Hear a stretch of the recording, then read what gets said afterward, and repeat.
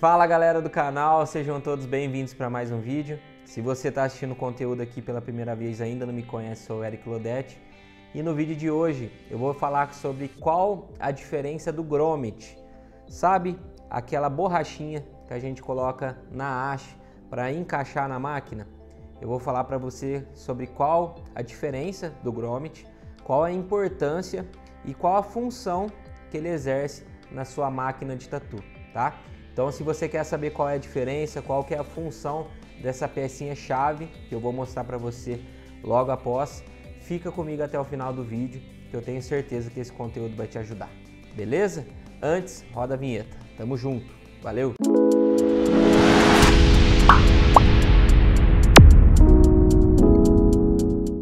Bom, galera, aqui ó, podem ver que tem poucos grommets, né? Olha o tanto de grommet que eu tenho de várias espessuras, várias marcas, várias cores e várias funções, tá? Basicamente, o grommet serve para você colocar a haste na sua máquina de tatu.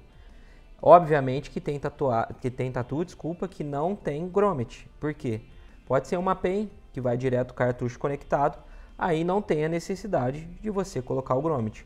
Porém, a grande maioria das máquinas que usa haste, né, a haste é a haste da agulha, né? É necessário ter o grommet. Eu vou pegar só uma agulha aqui. Ó, então peguei uma agulha aqui, ó, tá embalada ainda, né? Ó, tá vendo? Essa parte aqui, ó, é onde a gente coloca o grommet. E esse grommet serve para segurar a haste, né, na sua máquina de tatu, evitando também dela ficar sambando dentro da máquina. Né? Além do elástico, o grommet é muito importante para isso, tá? Então, voltando, é, tem várias, vários grommets aqui de várias marcas e eu vou explicar para você a diferença e o que isso interfere no desempenho da sua máquina. Tem grommets que têm tamanhos diferentes. Esse aqui, por exemplo, ó, é um pouquinho maior né, do que esse aqui, por exemplo, ó, que é bem pequenininho. Ó. Deixa eu pegar aqui para poder filmar pegar o zoom aqui em mim. Aí, ó. Tá vendo? Ó? Esse é um pouquinho menor. Já esse, ó. Olha o tamanho que ele é. Pegar o zoom. Aí. Tá vendo? Ele é um pouco maior. E isso interfere sim no desempenho da máquina. Obviamente que não é muito, né? Mas você sente uma diferença. Tem grommets que normalmente, geralmente, né? Você usa e já descarta que já são aqueles grommets mais macios, como esse aqui, ó. Tentar focar, ó. Ele é muito macio, tá vendo, ó? Esse tipo de grommet, assim, ele não tem uma durabilidade boa. Né? Provavelmente você vai ter que descartar a cada trabalho. Já tem grommets que são mais duros, tipo esse aqui, ó. É mais rígido, ó. Você aperta, ele não... Tá vendo, ó? Ele é mais duro, ó. Né? E qual que é a diferença disso? Do mais mole para o mais duro.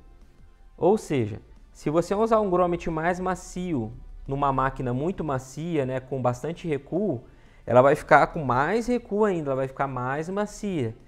Então, às vezes, o interessante é você usar um grommet um pouquinho mais duro, tipo esse, né? Ou esse aqui. E tem grommets também que algumas marcas de, de máquina já já vendem, né? Tem, tem algumas empresas que já vendem o grommet que é específico para aquela máquina. Por exemplo, esse esse magenta aqui, ó, é das máquinas do Paulo Fernando de bobina. É um grommet muito bom, inclusive, ó, ele já é um Deixa eu focar aqui. Pronto. Ele não é tão duro e nem tão macio. Ele é muito bom para máquina de bobina. Eu gosto bastante desse grommet. E esse daqui, que também é da Electric, ó, esse roxinho, que também é da Electric, ele já é mais duro, ó. Você aperta, ele não, tá vendo? Ele já é para máquina rotativa, né? Especificamente esse daqui foi criado para Transverse Nano. É um grommet um pouquinho mais duro. Ou seja, tem de vários tamanhos, várias cores, né? vários modelos, várias espessuras e tem uns que são mais moles e outros mais duros. Tem algumas máquinas que já são projetadas para o grommet. É, por exemplo, essa daqui, que é do, do Paulo Fernando, esse roxinho, ele foi criado para transverse nano. Talvez se você usar qualquer outro grommet, pode ser que interfira no resultado da máquina, na perca de potência, ou até mesmo o mecanismo da haste pode encostar em alguma parte da máquina, roçando a máquina ou até dando algum defeito na máquina. Então, assim, é, pelo menos a empresa que eu conheço do Paulo Fernando, eles se preocupam até no grommet, em criar um grommet específico para cada máquina. Normalmente isso não acontece em todas as empresas, né? Por exemplo, eu tenho várias marcas aqui de, de máquinas de bobina, todo mundo sabe que eu uso máquina de bobina, e todos os grommets funcionam com todas as máquinas, porém, tem alguns que são melhores que outros, que isso é super normal. Por exemplo, se eu tenho uma máquina mais dura, né, de bobina, eu quero uma batida mais seca, não faz sentido eu usar um grommet mais mole, tipo esse aqui, esse, esse aqui. Não faz sentido eu usar um grommet mais mole. Por quê? Porque se eu quero uma máquina dura, né, para uma, uma, pancada mais seca, mais firme, se eu colocar um grommet mais molinho, ela vai deixar um pouco mais macia a máquina. Então esse não é o meu objetivo. Sempre que eu vou usar uma máquina dura, eu coloco um grommet um pouquinho mais duro para que ela trabalhe normal né, no desempenho dela. Agora, se eu uso uma máquina para um fine line, uma máquina mais macia, por exemplo, né, uma maquininha que eu uso o recuo dela ao meu favor, por exemplo, vou pegar aqui uma para você ter ideia, ó. Por exemplo, uma Bulldog que eu uso bastante para fine line, ó, o grommet que eu uso é o específico da máquina, ó. Deixa eu focar. É o grommet magenta, específica para a máquina. Né? Então eu uso um grommet que ele não é nem tão duro e nem tão mole. Ele vai fazer com que a máquina trabalhe na, na velocidade e no desempenho dela correto. Então, se eu usar, novamente, volto a falar, se eu usar um grommet muito mole numa máquina muito macia, ela vai ficar mais macia ainda. E se eu usar um grommet duro numa máquina seca, ela vai continuar seca, tá? Agora, se você quiser fazer o teste também, usar uma máquina seca com um grommet mais mole, tipo esse e esse, né, um pouquinho mais rígido, usa para você ver. Você vai notar que ela vai ficar um pouquinho mais macia.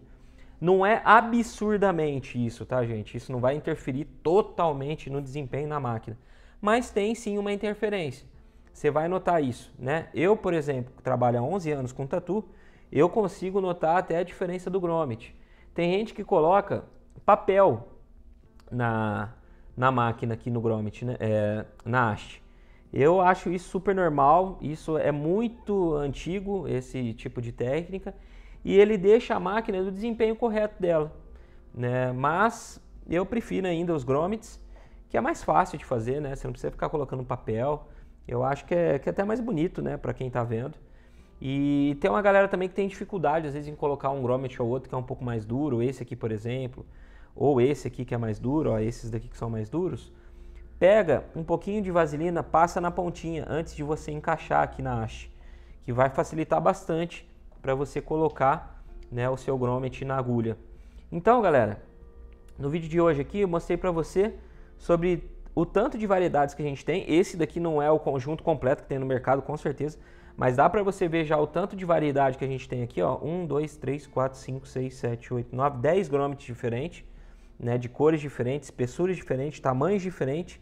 E cada um foi desenvolvido para uma coisa. Então eu acredito que isso sim interfere no desempenho da máquina, mas não é algo absurdo que vai mudar totalmente o seu trabalho. Mas não, se você tem uma máquina mais macia, quer continuar com ela macia, use o grommet, um grommet específico para isso, que é um grommet por exemplo, como esse, que ele não é. Deixa eu focar. Vamos focar aí. Que ele não é nem tão duro e nem tão macio. Ou um grommet mais macio, como esse, ó. Que é bem macio, por sinal. Agora, se eu tenho uma máquina mais dura e quero continuar com ela com desempenho duro, eu uso um grommet mais duro. Né? Ou um grommet específico, que seria esse aqui. Hum, se fosse facilitar para vocês, como tem essa grande variedade de grommet E para você não ter erro de qual escolher, usa esse aqui, ó. Todos são empresa brasileira, Electric Inc. Não, tô, não sou patrocinado, tá, galera? Mas acho que é bom falar, né? É válido falar, porque realmente funciona o Gromit. Eu venho usando ele, para mim funciona muito bem. Usa esse aqui, o, o roxo para máquina rotativa e esse, esse magenta para máquina de bobina que eu tenho certeza que vai resolver aí, tá? Porque essa grande variedade de grommet às vezes pode confundir. Olha o tanto que eu tenho aqui, por exemplo, né, nessa caixinha, ó. São muitos e muitos grommets, ó. Então às vezes pode confundir aí para você.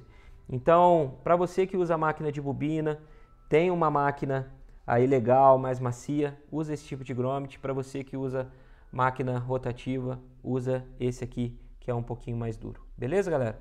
Espero que vocês tenham entendido aí, espero que tenha ajudado vocês também. E se ficou com, com qualquer dúvida, pode deixar aqui nos comentários, tá ok? Lembrando, é, para você ainda que não acompanha meu trabalho nas redes sociais, segue lá no Instagram, Esculpindo Seu Traço, que lá eu passo dicas complementares do canal do YouTube. Fechou? Tamo junto, galera. Vamos focar? Se Deus quiser, até o próximo. É nós. Abraço. Valeu!